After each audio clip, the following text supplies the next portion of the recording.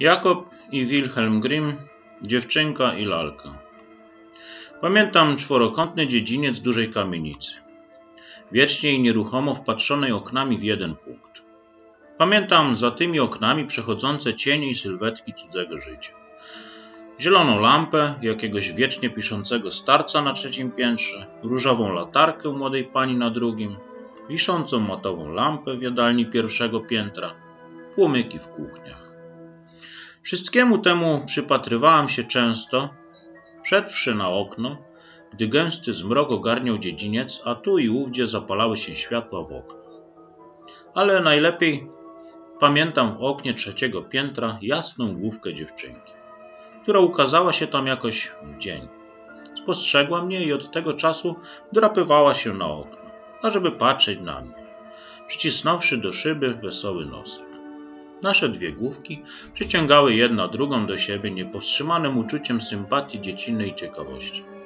I pomiędzy córeczką poważnego urzędnika i córką ubogiej szwaczki utworzył się telegraf z początku ruchami rąk, uśmiechami, znakami, aż na koniec pewnego pięknego dnia zjawiły się arkusze papieru, na których z jednej strony ogromnymi literami wymalowanymi pędzelkiem, umaczanym w farbie, wyczytałam Pokaż mi swoje zabawki. Z mojej zaś wypisane węglem nie mam żadnych. W odpowiedzi na to spostrzegłam wyraz nadzwyczajnego zdziwienia. Potem jasnowłosa dziewczynka szybko zniknęła z okna, a w dziesięć minut potem zjawiła się u nas pokojówka z prośbą do mamy, ażeby mi pozwoliła pójść pobawić się z ich panienką. W ten sposób zawiązała się przyjaźń, dzięki której poczułam po raz pierwszy nadzwyczaj pociąg do lalki. Tak, do cudownej lalki należącej do Maryni, noszącej potoczne imię Aldona. Dziewczynki, mając zdziwiające przywiązanie do lalek, małe serduszka widzą w lalkach coś żywego, coś, co je rozumie. Dziewczynki boso wstają z łóżeczek w nocy, ażeby zajrzeć, czy lalce nie zimno, opowiadają im one o swoich zmartwieniach i radościach. Szczycą się nimi jedna przez drugą. Uczą je, każą im przeżywać wszystko, co same przeżywają. Widzą, słyszą, uczą się na nich żyć, a głównie kochać je, kochać instynktownie. Tak, ja pokochałam Aldonę. Spoglądałam z czcią, pełną zachwytu na jej piękność, lękałam się dotknięcia jej sukni. Łagodna Marynia, ulegająca zwykle w zabawach mojej fantazji, mogła ze mną zrobić wszystko, co chciała jednym zdaniem. Nie dam ci się bawić z Aldoną. O z jakimże biciem serca wyczekiwałam na tę chwilę, w której Aldona znajdzie w moich rękach. A gdy ta chwila nadchodziła, jakie szczęście! Przyciskałam do siebie faworytkę.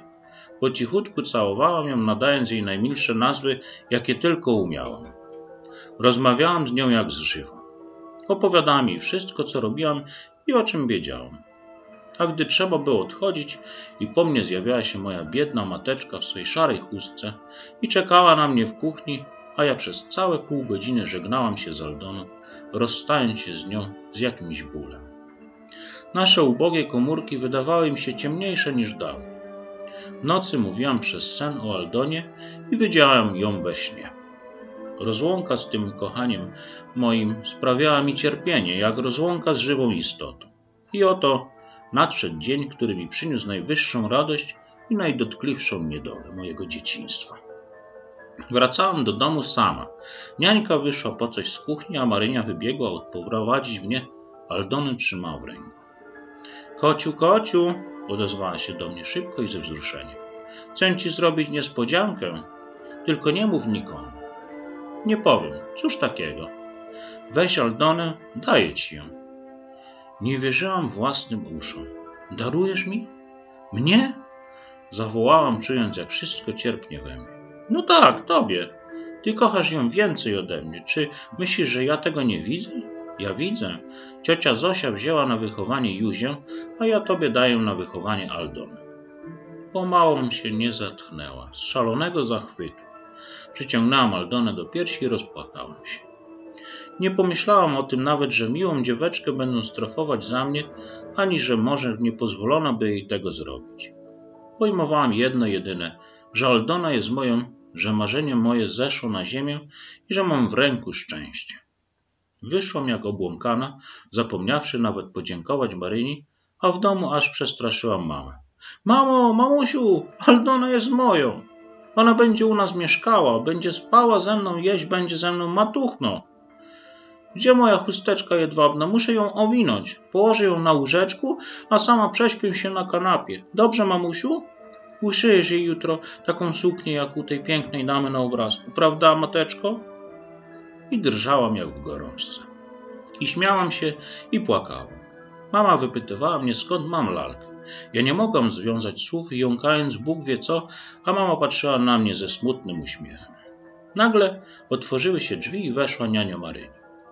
Ładnie się pani córka sprawuje, brutalnie zwróciła się do mamy. Mojej panience ściągnęła lalkę. Co? zerwała się mama blednąc. I ja zrozumiałam. Ja nie brałam, Marynia mi ją podarowała. A już ci podarowała. Marysieńka moja, aniołek najmilszy, sama przyjmuje to złe na siebie. Ja powiadam, podarowała mi lalkę? Darowała? Ale i niania nie ślepa, czy widziane to rzeczy, ażeby darmo dawać komu takie kosztowne przedmioty. Kobieto, wy się mylicie, wyrzekła mama drżącym na całym ciele. Moja kocia nie weźmie nic cudzego. Pani naturalnie wypada jej bronić, nieprzyjaźnie odparła służąca. Jak i co było, to rzecz nasza, a lalkę proszę oddać. Mama wzięła lalkę z moich rąk i w milczeniu oddała ją niani. Ta wyrwała ją i trzasnąwszy drzwiami wyszła. Nastąpiło milczenie. Mama spoglądała na mnie oczami łez pełnymi, a potem spytała po cichu: Kociu, ja nie brałam, nie brałam, mamusiu. Zachłyśnięta rozpaczliwym ukaniem krzyknęłam, rzucając się ku nim. Nie Marynia dała ją na wychowanie, Matuniu. No dosyć, wierzę ci, kochana moja. I mama pieściła i całowała mnie, ja zaś płakałam na jej kolanach, dopóki nie zasnęła. Do Maryni już mnie później nie zapraszano. Raz czy dwa razy jasna główka okazała się w oknie z Aldonu. Aldonu. I posyła całusy, ale zaraz pokazywała się niańka i odciągała ją. Wkrótce potem, dla jakichś powodów, jej rodzice wyprowadzili się z tego domu i w znajomym oknie dawnego dziecinnego pokoju ukazały się głowy uczennic modnej krawcowej. Ja w to okno nie patrzyłam nadal. Gwiazdka. Mama za ostatni grosz kupiła mi za kilka marek nietłukącą się lalkę. Podziękowałam, ale nie bawiłam się tą lalką. Na szarym tle moich wspomnień dziecinnych, jak plama jasna, występuje obraz cudownej mojej Aldony.